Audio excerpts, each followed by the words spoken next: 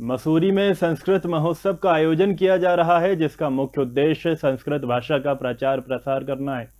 इस मौके पर श्री सनातन धर्म संस्कृत महाविद्यालय ने बड़ी रैली का आयोजन किया, जिसमें बड़ी संख्या में लोग उपस्थित रहे। संस्कृत भाषा अनेक भाषाओं की जननी है, पर बदलते दौर में लोग संस्कृत से दूर होते जा रहे हैं। ऐसे में आम जन को संस्कृत से जोड़ने के लिए श्री सनातन धर्म संस्कृत महाविद्यालय संस्कृत महोत्सव मना रहा है। इस दौरान महाविद्यालय ने रैली निकाली, जो अनुपम चौक से घंटा घर माल रोड होते हुए गांधी चौक पर पहुँची, जहाँ पर छात्रों ने संस्कृत में श्लोक पढ़े और मंत्रोच्चार किया।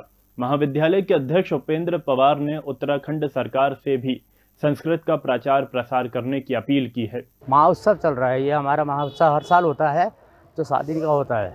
मैं आपको ये जाना चाहता हूँ कि संस्कृत भाषा को हम प्रथम भाषा में लाना चाहते हैं। संस्कृत भाषा ऐसी चीज़ है संस्कृत ऐसी चीज़ है जो संस्कृत साइंस से भी जुड़ी हुई है।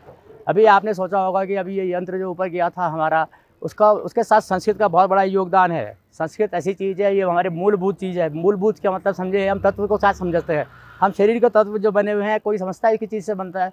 संस्कृत बातों को समझो, इसको पढ़ो, इसको थोड़ा सा ज्ञान लो, इसको प्राप्त करो। हम ये चाहते हैं कि संस्कृत भाषा घर घर हो संस्कृत भाषा। Rabindranath Tagore University Bhopal, only private university in MP to be NIRF rank for five consecutive years. जहाँ है 600 से ज़्यादा company tie-ups for placements, Atal incubation centre for nurturing startups, industry academia collaboration for exposure of real industry world 20 centres of excellence for research साथ ही global festival विश्व रंग में शामिल होने का अवसर देता है। Rabindranath Tagore university unlocking potential